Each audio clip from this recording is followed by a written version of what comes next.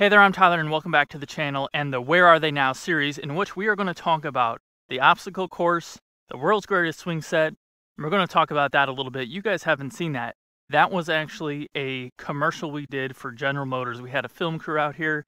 It was kind of a bizarre situation, um, but good time. So you never really saw that on the typical YouTube channel. So, what is going on with these structures? The world's greatest swing set was built four years ago at this point in time and the obstacle course was built three years ago, and they are both holding up extremely, extremely well.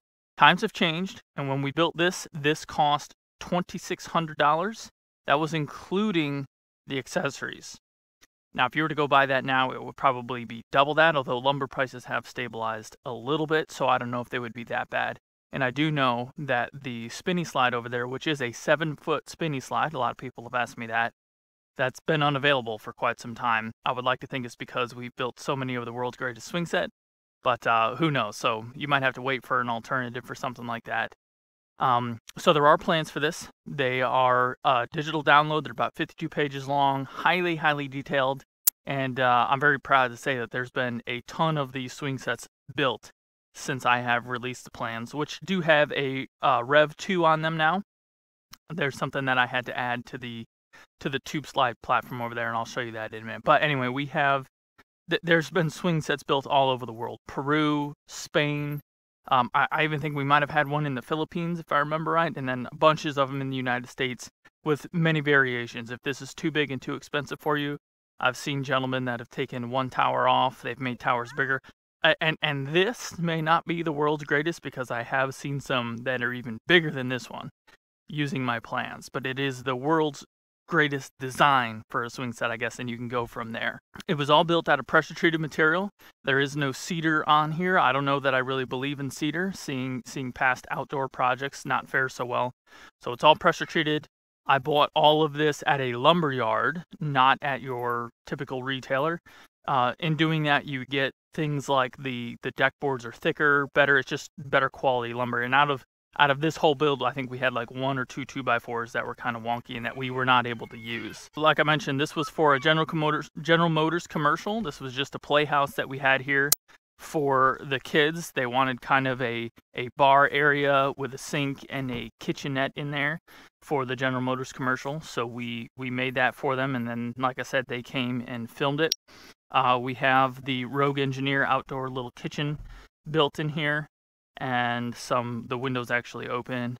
And at one point in time, we had uh, flowers, fake flowers in the flower pots, and a little mailbox on the side. But this is the Ondura. This was their original Ondura panels. Like I said, they originally were smaller, so you can kind of see, you might be able to see how it's a, a smaller sheet goes from here to here and is about 18 inches tall where now they went to more of like a, a five foot panel so you can cover more space at one time which is nice. I do think at one point they were going after something that you could fit back fit in the back of a small car so it was easier to maneuver and you didn't need a truck or something like that. Anyway the whole point of the world's greatest swing set was it needed a bridge. Started with that and then built the design around it. So the bridge goes from tower to tower on the top.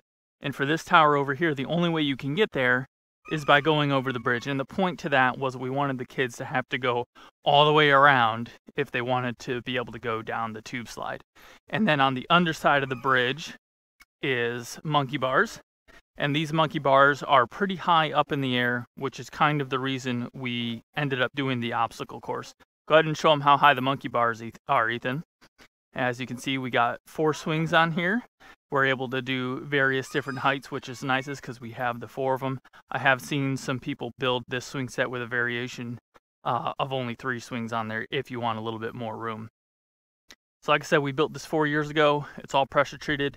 After about a year of drying out, we sprayed uh, a product called Ready Seal on it. Um, I've only used it on the playhouse, the swing set, and the obstacle course. Um, but from what I can tell, I highly recommend Ready Seal. It is a little bit difficult to get your hands on, but it's very easy to apply and it spreads out very well with very, very minimal or no blotching. And it seems to have held up and protected the swing set very well for the three years that it's been on there now. It's probably getting time to do another coat of that, but we probably have one more year out of it. As I mentioned, this is a seven foot tube slide. I did need to lower the platform to be able to get to that, so that's what this little majigger is right here. If you needed to jump down to a five foot tube slide, which may be available, you could lower that even more. And this is the only thing that I have changed in the plan so far is adding this section, this cross section down here because we were getting the entire tube slide platform to uh, bend down. It was sinking down a little bit right here. So in adding that, I was able to jack it up, add that on the bottom, and we are all well and good with that structure so far. So the rock wall, which is a pressure treated piece of plywood, has uh, a little bit of mold on the bottom, but no rot. So that's in, in good shape still. I, I wouldn't do anything different, even though on the obstacle course, I did do the actual, you know, little rock pieces on the deck boards there. Um, over here, we have the, the, the weed whacker eating away at the wood. I don't know if you can see that. I have seen some very expensive options for wrapping that kind of thing in so you don't wreck your weed whacker, but they're like super expensive, like 10 bucks a post or something like that. So if you guys have any ideas or any any great tricks for how to protect those posts for something like that, let me know in the comments below. Everyone would appreciate uh, a trick or two. So you can see we got the rope over there from the lower tower. And that mechanism that holds the rope is something that we've gotten a lot of questions on as well. In the plans, you're not going to get this structure. It's just going to be a fireman pole. And there was a couple reasons for that. That is an impossibly difficult angle to draw using SketchUp. So I spent way too much time doing that and and didn't have any success. And ropes and kids, I didn't really want to sell that in the plans. Didn't want anyone to get hurt on the rope. So you guys get a fireman pole if you purchase the plans you can figure that out. I've seen some people do a, a, simpler mechanism than the angles that I did. Like I said, very difficult to draw in SketchUp, and uh, yeah, impossible to transfer over to the plan. So if you wanted something like that, that it was a little bit different, you can do that on your own. But what else? Again, plans available down in the description below if you want them. It's all pressure treated. And what else would I do? What would I do different on this guy? I do think that owning a tractor now and having an auger, I would put this on piers if I was to do this again. It has only sank about an inch, maybe two.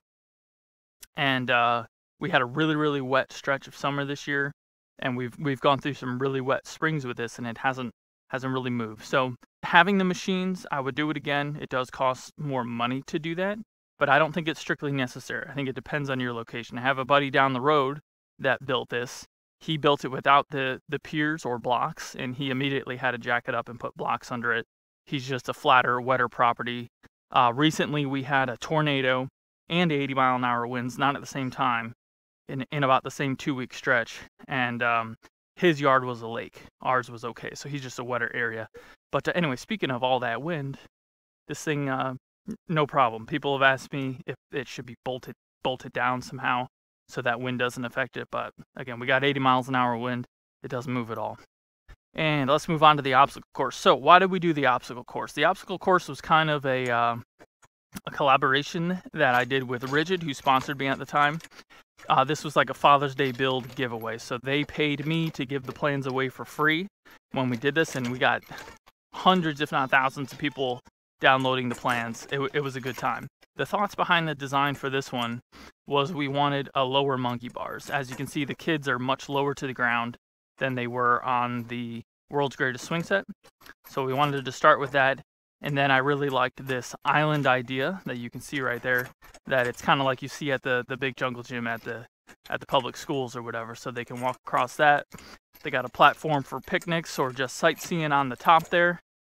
And then you got the rock wall with the true rocks. I just got these on Amazon somewhere mounted on again the deck boards from the lumber yard and then we got kind of a whole ladder section on this side and a rope ladder right there for them to practice climbing up a rope ladder which is never very easy this guy was surprisingly expensive. So like i said the swing set was about 26 2700 dollars with all the accessories and all the wood. This was like 900 dollars for all the wood. There's quite a bit of quite a bit of wood on there um, building that structure. So i think that's why it uh, surprisingly cost. Now, if you look closer over here, this is a 2x6 and it's almost almost all the way into the ground. That's like four and a half inches into the ground. This is a much wetter area over here, uh, which is why we put the swing set over there. But right here does puddle up with water when we get a ton of rain. So this area has sank a little more. But the good news is it has sank kind of evenly. So we haven't had to do anything about it. That's a smaller structure. I don't think I would ever pour that on piers in case we wanted to move it. And if we do want to just kind of pop it over a couple inches, we can very easily do that. So I hope you guys enjoyed this first episode of Where Are They Now? We covered the world's greatest swing set, we talked about the obstacle course, and we very briefly touched on the commercial we did for General Motors, which I can link that down in the description below if you wanted to watch it. It's only like a minute long. It's pretty well edited. It's pretty cool. We had the film crew, like I said, and we had a new General Motors car out there when they were releasing the new Acadia. It was good fun. The local hardware store was all involved. It was a lot of fun. If you guys would like to build some of these, the plans for them are in the description below. You will not be disappointed by the plans. They're highly detailed. They've been refined over the last couple of years, and many, many people have built them to great success. I'm DIY Tyler, and you guys have a good one.